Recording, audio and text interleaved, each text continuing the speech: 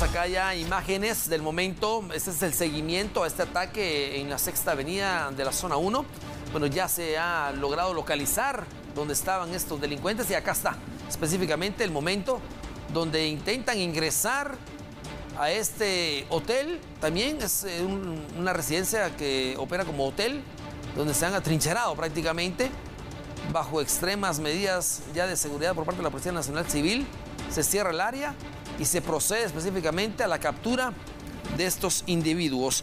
Acá está específicamente el momento exacto donde después del asesinato, bueno, el ataque, porque aún está herido de gravedad y lo llevaron a un hospital, después de este ataque donde resultó gravemente herido esta persona, pues estas presuntas o presuntos sicarios ingresan, se van atrincherando en este lugar, se da aviso por parte de algunos vecinos del lugar, la policía llega a esta área y empiezan a sacar de este negocio a varias personas posiblemente involucradas en un tiroteo, que sería el de la sexta avenida A de la zona 1.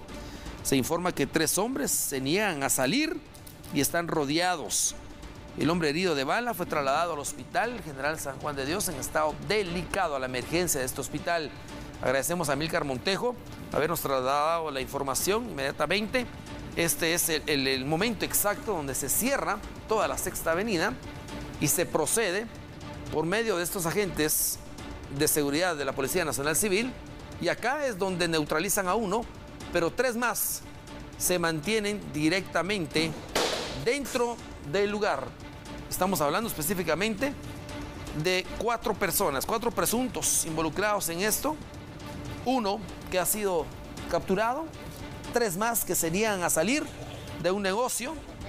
Ellos habrían estado involucrados, según testigos, se presume, en el ataque que dejó a este hombre gravemente herido en el ingreso de un hotel de esta misma avenida, la sexta avenida de la zona 1.